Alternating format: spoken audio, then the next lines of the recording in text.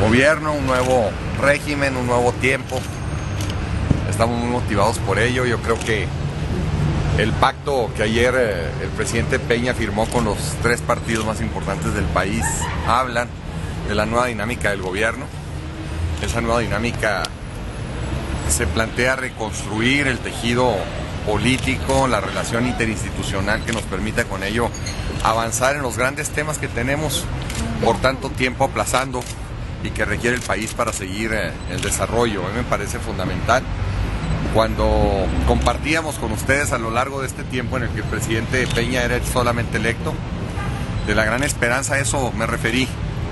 Conozco sus capacidades, su decisión, su voluntad, su carácter, su nombre de voluntad, y eso muestra que nadie pudiera haber pensado que el discurso ayer del presidente Zambrano del PRD se hubiera dado en los términos que se dio, o del presidente Madero de Acción Nacional en los términos que se dio. ¿Histórico este pacto? Es histórico, sin duda. eh, se asemeja al pacto de la Moncloa, en la cual los acuerdos políticos eh, establecen eh, la ruta en la que Chihuahua requiere eh, y México requiere para consolidar su, su futuro de, de mejor forma. Las grandes, las grandes transformaciones al marco legal que han estado aplazándose es el tiempo de que lleguen. Pero se dieron cuenta que fue una falta eh, grave de su cuadro de apoyo jurídico, puesto que no se dieron cuenta que habíamos cambiado en la fecha del inicio del proceso electoral trasladado a enero.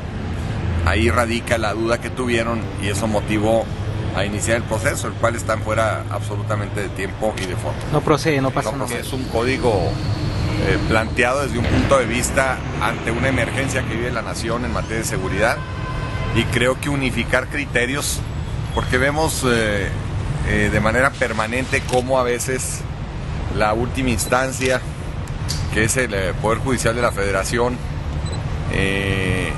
a partir de esa diferenciación de los códigos, toma criterios a los cuales a veces se beneficia de manera permanente a los, a los victimarios.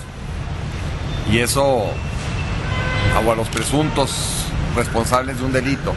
Y eso complica sin duda la, combate y la aplicación. Incluso yo me iría más allá. Yo creo que, por ejemplo, el secuestro agravado debe plantearse si se va a revisar la constitución con pena de muerte.